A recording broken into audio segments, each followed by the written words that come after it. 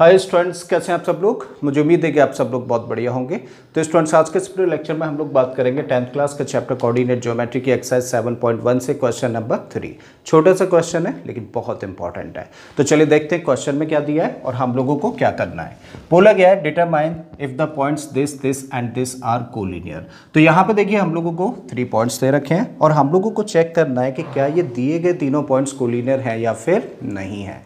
तो देखिए, जब भी कभी हम लोगों को तीन पॉइंट्स दिए जाए। और चेक करना हो कि दिए गए तीनों पॉइंट्स कोलिनियर है या फिर नहीं है तो वैसे तो हम लोग एक फॉर्मूला जानते हैं डायरेक्टली उसे लगा के हम लोग चेक कर सकते हैं। बट इस वीडियो लेक्चर में हम लोग क्या करेंगे? इन तीनों पॉइंट्स की कोलिनियरिटी चेक करेंगे with the help of distance formula अब कैसे करते हैं? वो जरा समझ लेते हैं। जब भी कभी हम लोगों को तीन पॉइंट्स दिए जाए सपोज़ ए ये है बी यहाँ पर है और सी कहीं यहाँ पर है।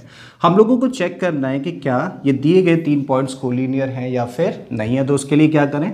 सबसे पहले तो पॉइंट ए और बी के बीच की डिस्टेंस कैलकुलेट करो। फिर बी और सी के बीच की डिस्टेंस कैलकुलेट करो। फिर पॉइंट ए और सी के बीच की डिस्टेंस कैलकुलेट करो। और जब ये तीनों डिस्टेंसेज हम लोग कैलकुलेट कर लें तो फिर हम लोग देखेंगे कि क्या जो दो छोटी डिस्टेंसेज हैं, क्या दो छोटी डिस्टेंसेस का सम तीसरी यानी कि बड़ी डिस्टेंस के इक्वल है या फिर नहीं है, एक बार फिर से रिपीट करता हूँ। हम लोग जब तीनों डिस्टेंसेस कैलकुलेट कर लें तो फिर उसके बाद हम लोग देखते हैं कि क्या दो छोटी जो डिस्टेंसेस है, उनका सम तीसरी यानी कि बड़ी डिस्टेंस के इक्वल है या फिर नहीं है। अगर है, तब तो कोलिनियर है, और नहीं है तो फिर कोलिनियर नहीं है। तो यही कॉन्सेप्ट हम लोग इस क्वेश्चन में लगाने जा रहे हैं।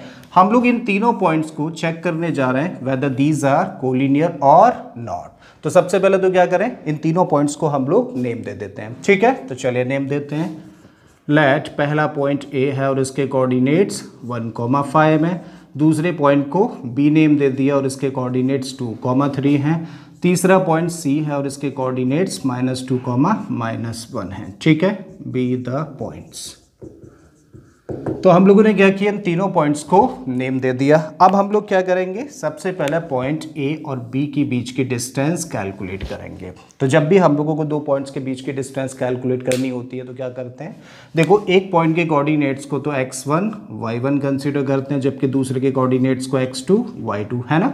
और फिर क्या करते हैं? डिस्टेंस फॉर्मूला लगा देते हैं। और डिस्टेंस फॉर्मूला क्या होता है? D equal to under root में x two minus x one का whole square plus y two minus y one का होल स्क्वायर ठीक है? चलिए, लगा देते हैं इन दोनों पॉइंट्स के बीच की डिस्टेंस कैलकुलेट करने के लिए। तो ए और बी के बीच की डिस्टेंस निकाल रहे हैं तो इसको दिखा सकते हैं ए बी से and this equal to x two minus x one तो एक्स टू कितना है? यह है टू माइनस एक्स वन क्या है? वन और इसका square plus y two minus y one, यानी कि थ्री माइनस फाइव का square. So this can be written देखो, टू माइनस वन का मतलब क्या हुआ? वन। तो यहाँ पे लिखा वन और इसका square plus three minus five का मतलब हुआ माइनस का टू और इसका square. So this can be written one का स्क्वायर करोगे तो वन। एक नेगेटिव नंबर का स्क्वायर करोगे तो पॉजिटिव और टू का स्क्वायर किया तो फोर। करेक्ट है? तो ये क्या निकल के आ गया? वन प्लस फाइव फोर का मतलब फाइव। इसका मतलब ए, बी के बीच की डिस्टेंस क्या है? रूट फाइव यूनिट्स निकल के आती है। अब हम लोग पॉइंट बी और सी के बीच की डिस्टेंस कैलकुलेट करेंगे। तो इसके लिए हम लोग एक पॉइंट के कोऑर्डिनेट्स को तो एक्स वन वाई वन जबकि दूसरे पॉइंट के कोऑर्डिनेट्स को x two y two consider करेंगे। और क्योंकि यहाँ पे दोनों कोऑर्डिनेट्स कैसे हैं? नेगेटिव हैं। तो ऐसे केस में हम लोग क्या करते हैं? उस पॉइंट के कोऑर्डिनेट्स को x one y one consider करते हैं। ठीक है? तो हम लोग क्या कर रहे हैं?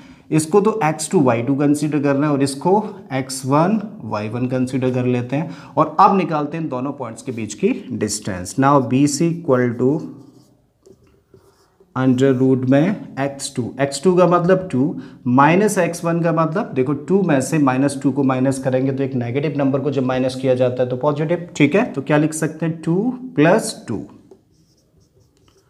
two plus two का whole square plus y two minus y one, यानी कि थ्री माइनस माइनस वन, है ना? तो क्या हो जाएगा? थ्री माइनस माइनस प्लस हो गया और ये वन और इसका स्क्वायर। फर्दर इसको करो, सॉल्व। टू प्लस टू का मतलब फोर और ये बन गया फोर का स्क्वायर, फिर थ्री प्लस वन का मतलब फोर और ये फोर का square.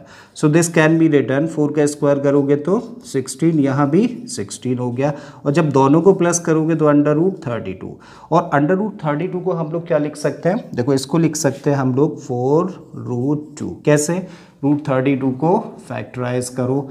क्या लिख सकते हैं उसको? Two into two into two into two into two. Correct है? देखो, टू का पेयर बना तो टू बाहर, इसका पेयर बना तो इसके बदले एक टू बाहर।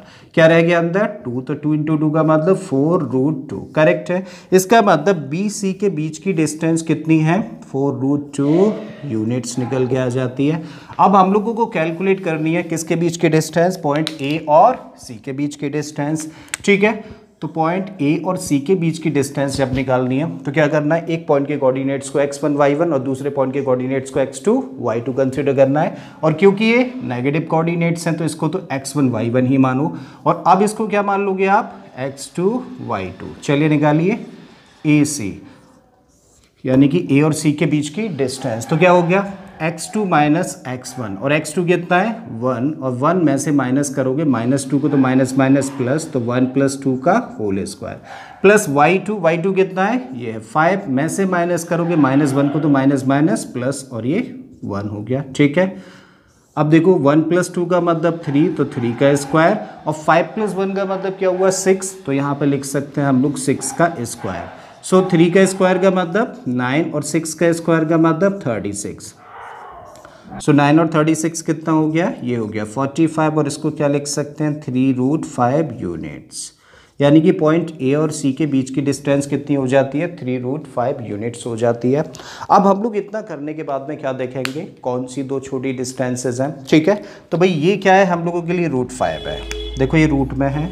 ठीक है? रूट फाइव और यहाँ आप सिर्फ़ कौन सा नंबर देखेंगे? ये रूट वाला नंबर ये रूट थर्टी टू है और यहाँ ये क्या है? रूट फोर्टी फाइव इनको कैलकुलेट मत करिएगा, ठीक है? इनको कंपेयर नहीं करना है।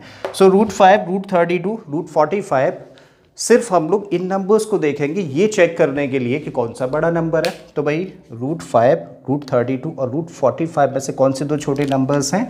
ये दोनों छोटे नंबर्स हैं। क्या इन दो नंबर्स का सम 45 के इक्वल है। यहाँ पे नंबर्स को प्लस नहीं कर देना है। Remember one thing root thirty two को आप जब प्लस की फॉर्म में लिखोगे, ये तो सिर्फ़ हम लोग कंपेयर करने के लिए देख रहे हैं। जब इसको लिखेंगे तो क्या लिखेंगे? फोर रूट टू लिखेंगे। और इसको लिखेंगे तो क्या लिखेंगे? थ्री रूट फाइव लिखेंगे। करेक्ट है? तो हम लोग देख रहे हैं कि ये जो दो छोटे नंबर्स हैं, ये रूट फाइव है और ये फोर रूट टू है। जब इन दोनों को प्लस किया जाएगा तो क्या थ्री रूट फाइव आ सकता है? नहीं आ सकता है। ठीक है? तो हम लोग क्या लिखे हैं सिंस कौन कौन सी दो छोटी distance A B plus B C is not equal to A C तो A B plus B C is not equal to A C therefore the given three points given three points are are not collinear ठीक है? तो इसका मतलब क्योंकि दो छोटी distances का सम तीसरी यानी कि बड़ी डिस्टेंस के इक्वल नहीं है तो इसका मतलब ये तीनों पॉइंट्स कोलिनियर नहीं है। अगर कोलिनियर होते तो ये सम कैसा होता? इक्वल होता बड़ी डिस्टेंस के। आई थिंक ये बात आप लोगों को समझ आ गई है। अगर ऐसा है तो प्लीज़ वीडियो को लाइक कर दें चैनल को सब्सक्राइब करना और बाकी के क्वेश्चन के लिए प्ले में चले जाइए। ऑलरेडी बहुत सारे क्वेश्चन मैंने अपलोड किए हैं। मैं फिर से आता हूँ एक नए क्वेश्चन एक नए कॉन्सेप्ट के साथ में। Till then keep learning and thank you for watching this video